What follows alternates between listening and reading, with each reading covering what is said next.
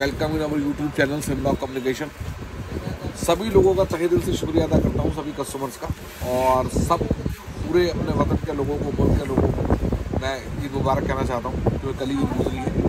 एक नया प्रोडक्ट बहुत टाइम से इंतज़ार कर रहे थे sunshine nine one eight F plus ये जितना पार्ट इसका यहाँ तक दिखाई देता है, इसको छोड़ के। अगर हम बात करें, ये वाला पार्ट जो है और ये जो बीच में इसका फोल्डिंग के लिए लगा हुआ है, इस पार्ट को छोड़ के पूरे का पूरा ये नौ सौ अट्ठारह जैसी मशीन है नाइन वन एट जैसी मशीन है। इसमें अमेंडमेंट क्या कर दी उन्होंने? कि इस मशीन को आप फाइव इन वन नाम दिया एक तो इसे आप किसी भी डायरेक्शन में मूव कर सकते हो, इसके ये वाला पैनल इधर से मूव हो जाएगा, इधर हो जाएगा। दूसरी चीज़, ये जो पैनल है, ये पूरा पूरा मूव होता है इस तरीके से। इजीली और ये यहाँ से यहाँ मूव हो जाएगा। तो जिस डायरेक्शन में जहाँ आपको सहूलियत है, वहाँ पर रखकर आप इसको मैनेज कर सकते हैं, काम कर सकते हैं। ये इसका एक पार्ट है, जो इसके अंदर लगा होता है। इसके साथ जो जो चीज़ आती है, वो सब मैं आपको दिखा देता हूँ। एक पावर कॉर्ड होती है बॉक्स के अंदर। क्योंकि अनबॉक्सिंग में कभी भी करता नहीं हूँ, हमेशा। और एक जो है आपकी पावर केबल के साथ साथ ये एक्सटेंशंस हैं। क्योंकि देखिए, ये इधर से जा नहीं रही है। इसका जो है तरीका दिया ये इधर से जाएगी और वहाँ जाके फिक्स हो जाएगी। मतलब ये आगे बढ़ेगी नहीं। मतलब ये एडजस्टेबल है यहाँ तक। इसके बाद ये और इसको अगर आप यहाँ टाइट कर दोगे तो ये वाली चीज़ जो है आपकी आगे पीछे आनी शुरू हो जाएगी। ये इसलिए है, ये बाहर भी नहीं निकलेगी और ये भी आपका बिल्कुल पुराने वाले स्टाइल में फोल्डेबल है। ऐसे करेंगे तो आप ऐसे हो जाएगा और ऐसे करेंगे तो ऐसे हो जाएगा। अगर हमको आपको स्क्रीन रिमूव करना है तो हम 18 से 90 के बीच में जो है टेम्परेचर सेट करते हैं।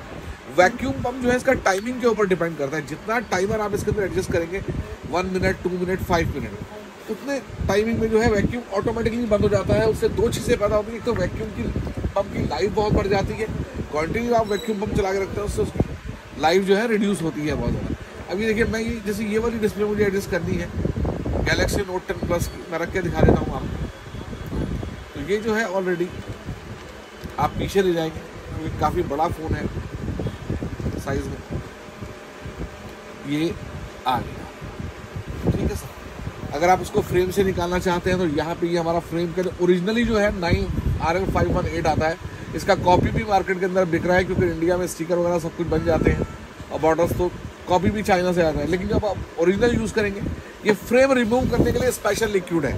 इससे ना कोई डिस्प्ले ख़राब होती है, ना अंदर कोई पार्ट ख़राब होता है। खाली फ्रेम रिमूव होगा आपका। इसको डाल के आप तकरीबन 70 से 80 डिग्री सेल्सियस के बीच में अगर आप इसको गर्म करेंगे तो फ्रेम जो है आराम से निकल आएगा। अब दूसरी चीज़ शुरू हो जाती है इसके ऊपर इसने साथ में एक ओपनर भी दिया है। बहुत सारे लोगों को इसकी नॉलेज होगी ये ओपनर जो है, हम लोग रख के जो है आईफोन्स की, दूसरी बहुत सारे फ़ोन्स की जो है सैमसंग के फ़ोन्स की डिस्प्ले जो है ऊपर उठा देते अब ये जो है, यहाँ पे इस तरह एडजस्ट हो जाएगा आपका। और जब आप इसको लगाएँगे तो ये इसको आप बंद करेंगे तो ये आपकी डिस्प्ले के साथ में ग्रिप कर लेगा पूरा डिस्प्ले तो ये लगा नहीं है।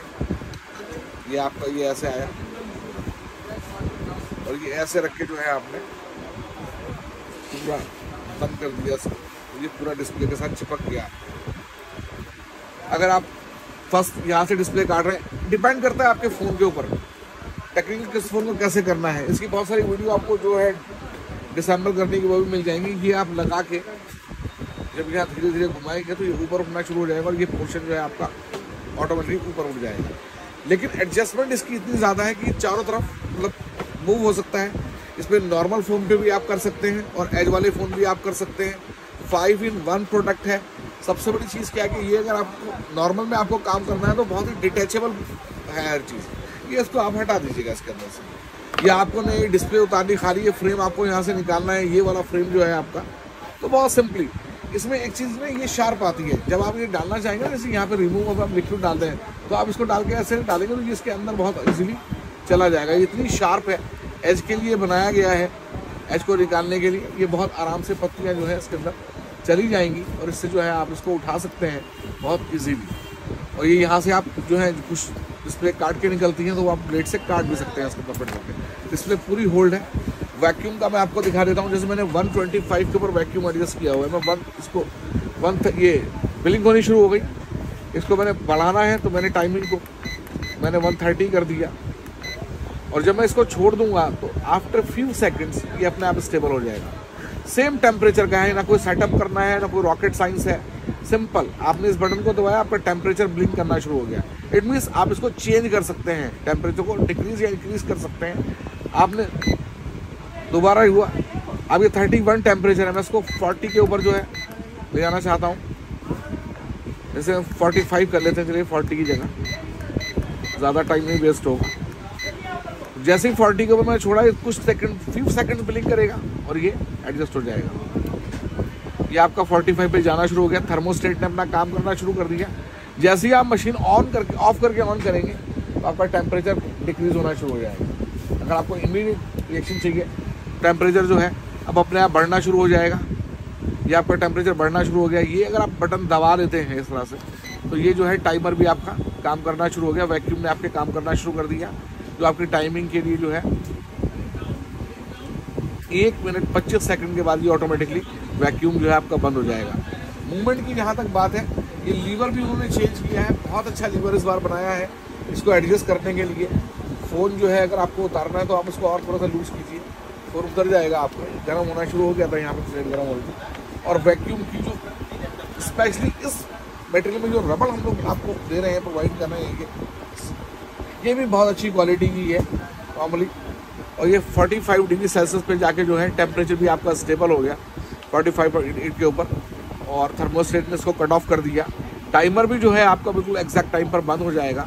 अगर आपको फ्रेम रिमूव करना है तो आपको टेम्परेचर रखना है 110 से 130 डिग्री सेल्सियस के बीच में। अगर आपको डिस्प्ले रिमूव करनी है मतलब ग्लास डिस्प्ले का ग्लास रिमूव करना है तो आपको टेम्परेचर रखना है 80 टू 90 डिग्री सेल्सियस बाकी आपके काम करने के ऊपर डिपेंड करता है, आपकी टेक्निकल आपके टेक्निकल कैलिबर के ऊपर डिपेंड करता है। मैं आपको सिर्फ़ जस्ट एक फीडबैक बता रहा हूँ सिंपल कुछ लोग जो हैं, वो 110 पे भी रखते हैं, उनका हाथ बहुत मतलब सेट है।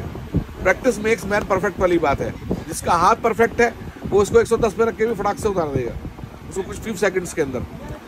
ये टाइमर बंद हो जाए तो मैं आपको एक चीज़ और दिखा देना चाहता हूँ। इसके अंदर एक्स्ट्रा वैक्यूम लगाने की भी, का भी प्रोविज़न है। बाकी ये ऑटोमेटिक कट ऑफ़ हो जाएगा।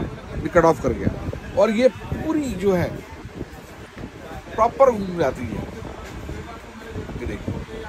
जहाँ आप इसको टाइट कर देंगे, ये भी टाइट हो जाएगा। ये चीज़ टाइट हो गई आप।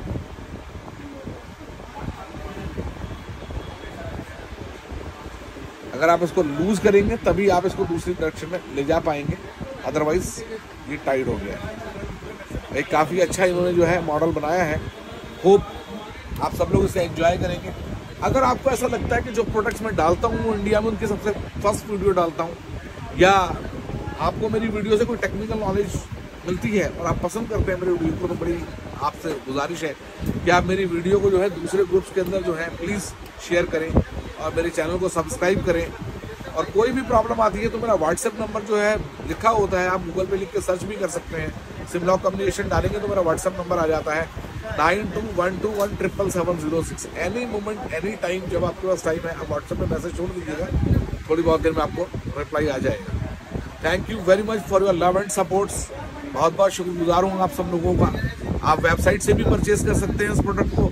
मेरे स्टोर से विज़िट करके भी परचेज कर सकते हैं। W W dot communication dot com हमारी वेबसाइट्स है आप चाहें तो वेबसाइट विज़िट कर सकते हैं। कोई और स्पेसिफिकेशन टेक्निकल अगर आपने पूछना है तो वो भी आप मुझसे डिस्कस कर सकते हैं। इसका वेट जो है तीन किलो, तेरह ग्राम के आसपास है। पैकिंग करने के बाद इसका वेट जो आता है, तकरीबन चार, साढ़े चार किलो के आसपास बन जाता है। डिपेंड करता है कहाँ भेजना होता है, किस पैकिंग में देना होता है। ऑल ओवर इंडिया शिपिंग करने के लिए हम लोग तैयार हैं। कुछ लोगों ने मेरी वेबसाइट पर लिखा हुआ है, जैसे लगाया हुआ है, कई लोगों को प्रॉब्लम हो जाती है किसी चीज़ से। तो वो अपनी गलती नहीं मारते लिख के भी लगा देते हैं डोंट बाय ऐसा मेरे को कोई फ़र्क नहीं पड़ता उस चीज़ से। मैं ये बता देना चाहता हूँ कि मैं आज भी प्रोडक्ट बहुत अच्छे सेल कर रहा हूँ, कल भी सेल कर रहा था। और कई बार क्या होता है कि जब क्योंकि हम लोग इसे जिस प्राइस पे ये प्रोडक्ट सेल कर रहे हैं नो वारंटी नो गारंटी में सेल करते हैं। लेकिन क्योंकि सनशाइन का ब्रांड है, इससे पहला भी प्रोडक्ट बहुत अच्छी तरह बिकता है मार्केट के अंदर, जिन लोगों ने इसको, इसके बिना देखा है। और ये, जिसके अंदर ये वाला मूवमेंट वाला पोर्शन नहीं है, वो भी काफ़ी प्रोडक्ट बिका है मार्केट के अंदर। लीवर में थोड़ी बहुत प्रॉब्लम आई थी तो उसको काफ़ी मॉडिफाइड करवा दिया गया है पहले से। आज की डेट में जो है लीवर भी उन्होंने काफ़ी मॉडिफाइड कर दिया। तो ये जब भी आप जो है, इससे आपको, ये लीवर भी अब इतनी जल्दी ख़राब नहीं होता। और थैंक यू वेरी मच चाहूँगा उन लोगों से कि फीडबैक डाला कीजिएगा प्रोडक्ट की। जब आपको प्रोडक्ट मिलता है या प्रोडक्ट मंगाते हैं, भले ही आप मुझसे नहीं परचेज करते, कोई बात नहीं। एटलीस्ट आप फीडबैक तो भेज सकते हैं ना। फीडबैक अगर आप भेजते हैं तो उससे हमें ये अंदाज़ा हो जाता है कि कौन सा कंपोनेंट जो है, कौन सा कंपोनेंट में कंज्यूमेबल कंपोनेंट लगा है, जो ख़राब होता है, जिसे हमें मंगाना पड़ता है। इसका वैक्यूम पंप ऑलरेडी मेरे पास ओरिजिनली अवेलेबल है। और ये रबड़ भी मैं ओरिजिनली मंगाने की कोशिश कर रहा हूँ। बाकी इसमें कोई पार्ट्स ख़राब होता है तो वो इलेक्ट्रॉनिक कंपोनेंट तो इलेक्ट्रॉनिक मार्केट्स में मिल ही जाता है आराम से। Thank you very much for your love and supports please subscribe करें शेयर करें लाइक करें।